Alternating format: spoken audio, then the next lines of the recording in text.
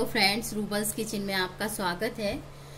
तो आज मैं यहाँ पे कस्टर्ड रस मलाई बना रही हूँ। और कस्टर्ड रस मलाई में पिस्ता कस्टर्ड रस मलाई होगी मेरी आज। और ये कस्टर्ड मैं प्रोसीजर में नहीं बनाऊँगी। मैं इसको छेने में ऐड करूँगी। पनीर में इस कस्टर्ड को ऐड करूँगी, क्योंकि हम वैसे तो हम कॉर्नफ्लावर को छेने में मिक्स करके बनाते हैं। तो मैं कॉर्नफ्लावर के साथ साथ में कस्टर्ड भी उसमें मिक्स करके इसका छेना बनाऊँगी। उसके बाद इसे मिल्क में ऐड करके रस मलाई तैयार करूँगी। तो मैंने यहाँ पर फ़र्स्ट प्रोसीजर में, मैंने मिल्क का गाय के दूध का मैंने ये पनीर बना के रखा हुआ है। तो ये छेना मैंने वन लीटर मिल्क से बनाया हुआ है और गाय का दूध थोड़ा पतला होता है लो फैट होती है। तो उसकी वजह से इसमें छेने अच्छे बनते हैं। और साथ ही साथ मैंने इसमें one point two point five M के करीब मैंने इसमें कॉर्नफ्लावर लिया है।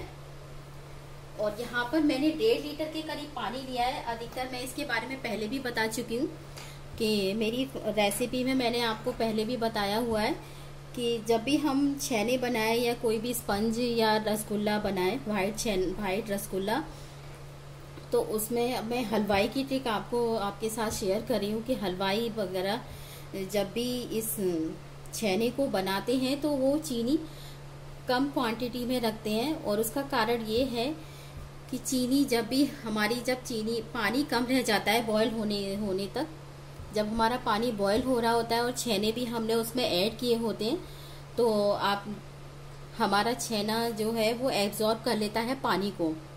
और पानी को एब्जॉर्ब करने के साथ तो पानी और शुगर दोनों सॉल्यूशन बन के दोनों ही चीज़ अब एब्जॉर्ब कर लेंगे। तो पानी अगर ज़्यादा हमारा ठीक होता जाएगा तो छेने के अंदर क्रिस्टल बन जाते हैं। ठंडा होने के बाद जब वो क्रिस्टल बनेंगे तो छेना हमारा हार्ड हो जाता है। तो चीनी हमेशा अपने ध्यान से डालें। चीनी ज़्यादा नहीं होनी चाहिए, या तो पानी की क्वांटिटी बढ़ा दें। तो यहाँ पर मैंने डेढ़ लीटर पानी लिया है और यहाँ पर मैं ये बड़ा चम्मच में इसमें चीनी ऐड कर रही हूँ। तो डेढ़ लीटर पानी में मैंने कम से कम फिफ्टी ग्राम्स के करीब मैंने चीनी ली हुई है।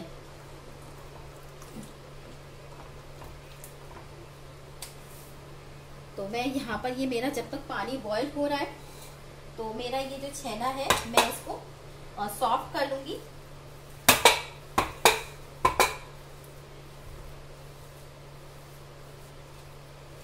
और ये 2.5 पॉइंट मेरा कॉर्नफ्लावर है, इसको इसमें ऐड कर दूँगी। और इतना ही मुझे कस्टर्ड इसमें डालना है।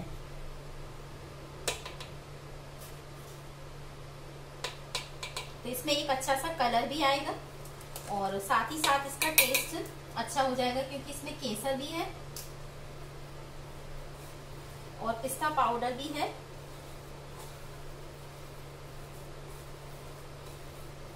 तो मैं इसको सॉफ्ट बना के दिखाती हूँ। तो देखिए, यहाँ पर मेरा पानी भी बॉईल हो चुका है और इधर मैंने एक लीटर के करीब दूध दिया है।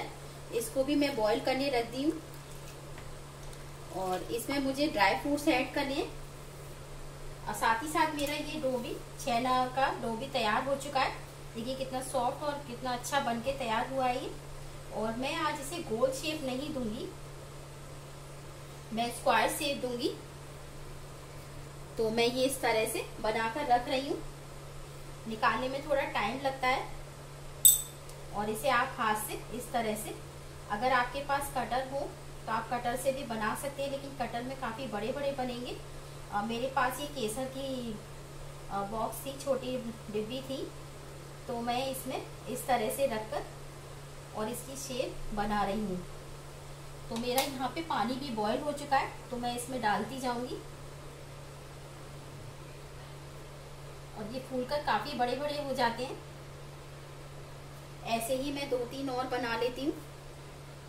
और सारे बना के रखूँगी बल्कि। और इस तरह से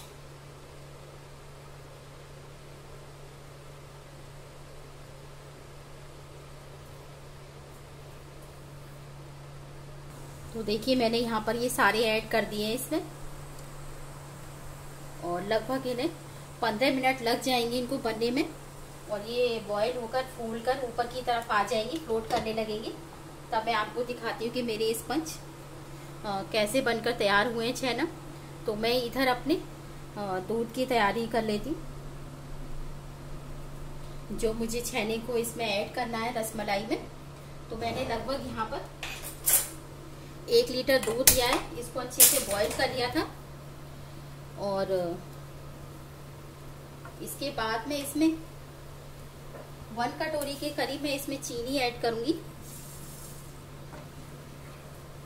ये मेरी कटोरी छोटी है तो मैंने इसमें से 50 ग्राम्स के करीब मैंने चीनी ली है। 50 ग्राम से कम ही ली है बल्कि। और मैं इसमें ऐड करूँगी केवड़ा एसेंस जब बॉयल हो जाएगा, मेरी रसमलाई बनके तैयार हो जाएगी। उसके बाद ही मैं इसमें केवड़ा एसेंट्स ऐड करूँगी।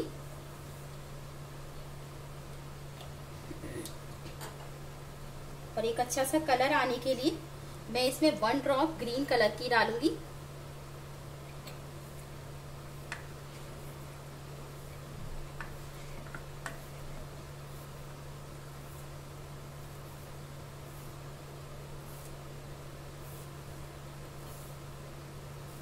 क्योंकि मुझे इसमें से पिस्ता कलर देना है। ये पिस्ता कलर का दिखाई दे रसमलाई मेरी। तो देखिए इसका कितना अच्छा कलर आया है। इससे ज़्यादा मैं इसको डार्क नहीं करूँगी। और दूध में अच्छा सा बॉयल आने के बाद मैं इसमें ड्राई फ्रूट्स ऐड करूँगी, जिसमें मैंने काजू, बादाम, पिस्ता और चिरौंजी लिया हुआ है। तो देख सकते हैं, यहाँ पर मेरा दूध बॉयल हो चुका है।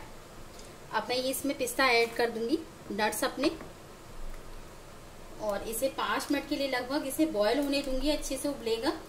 और ये थोड़ा सा जब ये गाढ़ा हो जाएगा, इसे हमें ज़्यादा गाढ़ा नहीं करना है। बहुत हल्का सा इसे पाँच मिनट के लिए हमें इसे बॉयल करना है। क्योंकि उसके बाद मैं इसमें जब छेना ऐड करूँगी तो ये कम से कम पाँच मिनट के लिए फिर बॉयल होंगे। ताकि जो हमारे छेने हैं वो जो हमारा मिल्क है, उसको एब्जॉर्ब कर ले और एक अच्छी सी रसमलाई बन के तैयार हो जाए। और यहाँ पर मैं अपने छेने दिखाती हूँ। आपको आप देख सकते हैं कितने बड़े बड़े होकर और फ्लोट कर रहे हैं ऊपर की तरफ़। और इसमें जाली भी बन के आ गई है। ज़्यादा टाइम नहीं लगा इनको बनने में। आपको दिखाती हूँ, जो मेरा स्क्वायर शेप में था। आप देखिए कितने बड़े बड़े बनकर, फूल कर रेडी हो चुके हैं। लगभग इनमें पाँच मिनट और लग जाएँगे। तब मैं फिर इसके बाद में से दूध में बॉईल करूँगी। तो देखिए, यहाँ पर मेरे मिल्क भी तैयार हो चुका है और मेरे यहाँ पर छेना भी बन के तैयार हो गए हैं और काफ़ी फूल चुके हैं ये तो अब मैं ये अपनी फ्लेम को ऑफ़ कर देती हूँ। और ठंडे हो, थोड़ा ठंडा होने के बाद मैं इसको मिल्क में ऐड करूँगी, क्योंकि जो मुझे इसमें पानी है और उसको मुझे एक्सेस करना है। तो देख सकते हैं, यहाँ पर मेरी रसमलाई का ये छेना कितना अच्छा और कितना सॉफ्ट बन के तैयार हुआ है। अब मैं इसको, इसमें ऐड कर दूँगी। मैंने इनका जो सुगर सिरप था, उसको उस पानी को लिक्विड फॉर्म को मैंने इसमें से रिमूव कर दिया है।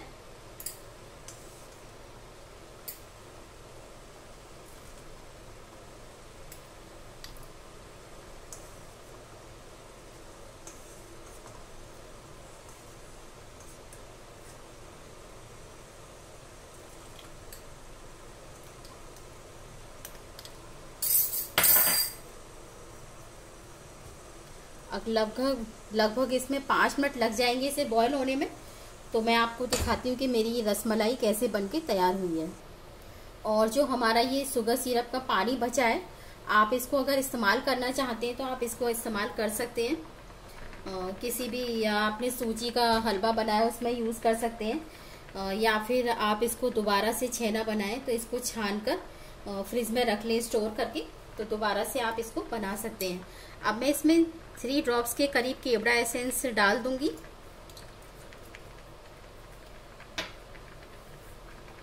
और एक अच्छा सा बॉयल आने के बाद मेरी रसमलाई तैयार हो जाएगी लगभग फाइव मिनट्स के बाद।